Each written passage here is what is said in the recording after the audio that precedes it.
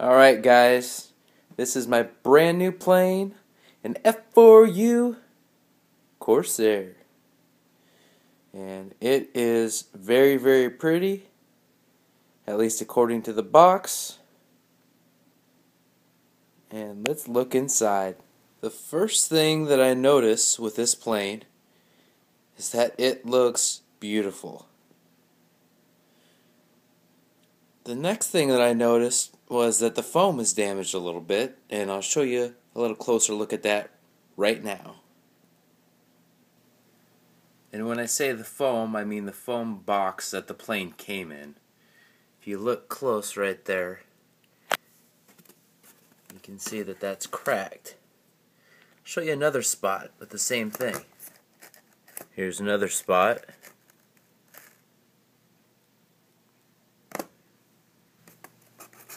Same thing going on right here. Nice big gap there. Well, let's take out the parts and let's see if that impacted the plane at all. As I was doing the unboxing, taking the stuff out, I noticed that this wing is awesome. It's really thick the paint on it's really nice actually. And there's a lot of a lot of structural soundness. You got the fiberglass right there. Got the big spots for the retracts, if and when I ever decide to do that. Uh, this is this is a really nice wing. I have to say that I'm quite impressed with it. So much so that I was even pretending like I was flying the plane with this wing. Yep, you can make fun of me. Leave those comments making me feel silly. I probably deserve it. On to the next pieces. Alright, so this next piece is the fuselage, of course. It's really pretty. I like the two-tone of the blue. And you can see under here so where the servos go, and somewhere in there is where I've got to mount the receiver. And I'm probably going to look in the book to see exactly where I should mount that. And I will show you what it looks like in there here shortly. Alright, so here is where the battery hatch is. And looks like you can adapt for any kind of battery that you want. There, within reason, of course. One thing that I don't like about my T28, probably one of the only things I don't like about my T28, is that there's no really adjustment for a different size battery. Once you kind of put it in there, and it, the foam is eaten away, stretched out, whatever you want to call it, innuendo put in there, yes, absolutely. That's what I do. Uh, it's it's kind of that is what it is. It, you can't go back. You can't stick that genie back in the bottle. So I do like the idea of being able to go with fatter and thinner batteries and having them fit in there nice and secure. Alright, now let's look at the other parts. Okay, so here is the horizontal stabilizer. This, much like the main wing, feels very solid and well reinforced. This makes me feel great about flying this plane. Even if I were to crash it on the maiden, God, I hope I don't, but if I were to, I'm pretty sure it would be, it'd hold up well. Unless I really duff it, which is possible. Just ask my Habu, although that wasn't on the maiden. That was me trying to show off for my girlfriend. Uh, and it still flew afterwards, and it's not nearly as solid as this thing. So that that makes me feel good. So we've also got the other key feature about this is it splits in two. This isn't just like the T28 horizontal stabilizer. It's it detaches. It's more like the Wildcat where you just put it together, stick on the tape, and you're good to go. Alright, so here are the two drop tanks. Or tanks, I'm not exactly sure what they are. But they do add a little character to this plane. I'm not sure if I'm going to include them, to be honest. Because it represents a bit of drag. But we'll see. We'll see how things turn out. And we'll go from there. Alright. That's it for this. Last but not least are the accessories. There's a landing gear, some connectors, screws, all sorts of stuff like that, and stickers for customization. For those folks who really get into that, I'm not really one of those folks. As long as it's clean looking and flies well, that's what gets me off. But I know there are plenty of that like that, and I can appreciate that. I'm just a little too lazy for that. I just want to fly. Alright, so here's kind of an overview of the parts and pieces for this plane. And that kind of wraps that portion up of the unboxing. Next, I'm going to be showing you what this plane looks like when it's put together. Alright, so the build is done.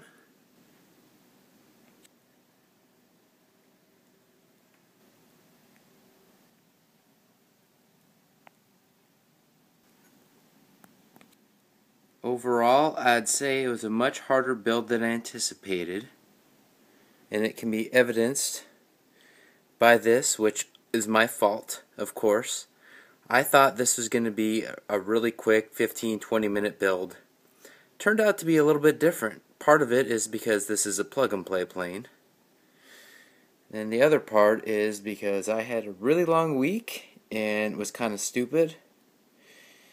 And I set up the plane with power in a way that could cut through the paint with the prop as evidenced here. I did notice that this plane's paint comes off extremely easy. I accidentally put my pinky nail on it and the paint chipped away. So, needless to say, I'm going to have to get some touch-up paint here, probably in short order. But whatever, it's a plane. Still looks cool, and it should fly really well. Before I forget, I did momentarily have some drop tanks on underneath here. But as you can see, the little plastic thing that's supposed to hold it in is not there. It came undone. And needless to say, this is not looking as pretty as it could. And because I want to maiden this tomorrow, I am going to just do without on the maiden and see where it takes us. Up next is going to be the maiden flight, and after that, there'll be the review post flight review.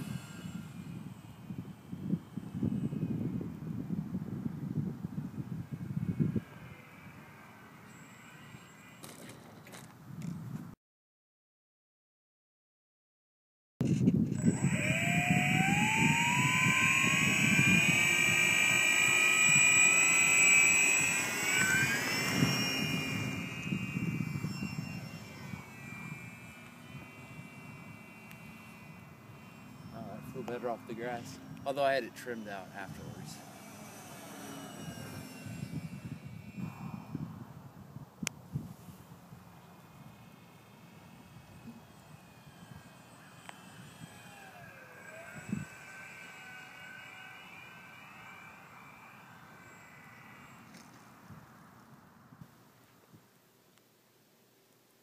Alright, so this is my take on this plane after a couple takeoffs and a couple landings.